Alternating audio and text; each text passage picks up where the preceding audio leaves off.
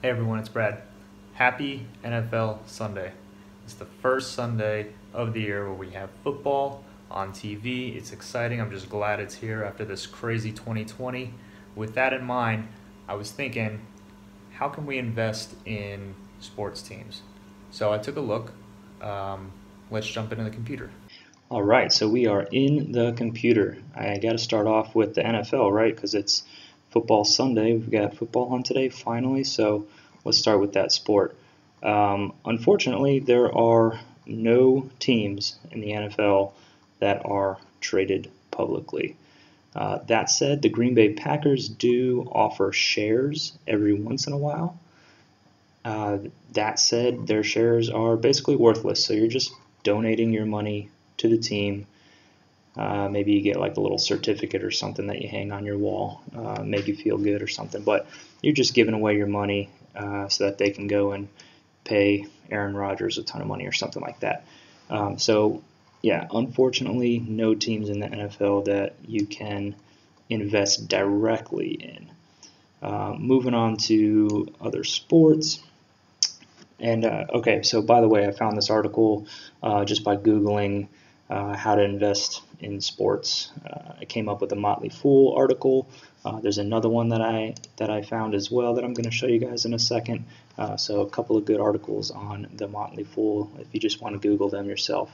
Um, okay, moving on to some of the other sports. So if you um, are a fan of baseball, you want to get into some baseball teams, you got the Toronto Blue Jays, you've got the Atlanta Braves that you can invest in. Um, if you are a basketball fan or you want to invest in basketball, you could go with Madison Square Gardens. They have uh, they own the New York Knicks. They also own, uh, not shown here, I'm pretty sure they own the Rangers. If you want to get into hockey, uh, or if you want to get into the Toronto Maple Leafs, um, the hockey route, you can go with uh, Rogers Communications as well. Rogers Communications is pretty cool because it's it's like all of the major Toronto sports teams. So you got the Blue Jays for for uh, baseball, you got the Raptors for basketball, you got the Maple Leafs for hockey. So that's pretty neat. And then the same thing with Madison Square Garden, they got the Knicks and the Rangers. So if you're just a you know you're a New York guy uh, and you just you know you want to invest in your teams, that might be a good way to go. Uh, if you're a fan of the Atlanta teams, you can go with the Braves at this tick. That's actually not the right ticker. I will leave you the correct stock tickers in the description below. Uh, don't go with these. Some of these are wrong. And then uh, Manchester United. If you're a, a soccer fan, uh, you can invest in MANU. That's actually the correct ticker for that one.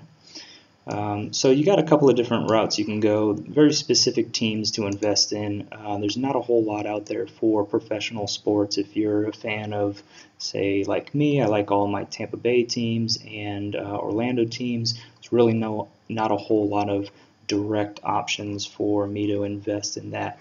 That said, you can invest indirectly by going with some of these um, companies that show sports content on TV, like Viacom, CBS, Disney, Comcast. Don't forget, Disney owns ESPN, so they have huge exposure to all of these sports um, networks or, or, teams and, and um, leagues and things like that. So um, that's a pretty good way to go if you want to just kind of diversify across all the teams. You're also getting all kinds of other stuff in there with Disney if you go with them, though. So um, you have to be comfortable with, you know, their um, amusement parks, their cruise lines. They have their movies, their streaming service. I mean, they've just got everything these days. They got the Star Wars franchise, they got the Marvel franchise, all that stuff. So it's crazy how much they have.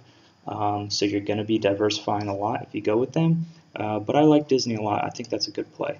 Uh, so looking at some of the charts for some of these guys, like Rogers Communications, that's the uh, Toronto Sports um, ticker. So if you want to go with them, this is over five years. All these tickers uh, are getting hit by the uh, pandemic, by the way, because we, you know, they stopped all sports when COVID hit, so they all took a big hit, uh, just like almost the entire market. So um, could be, you know, a good value play right now.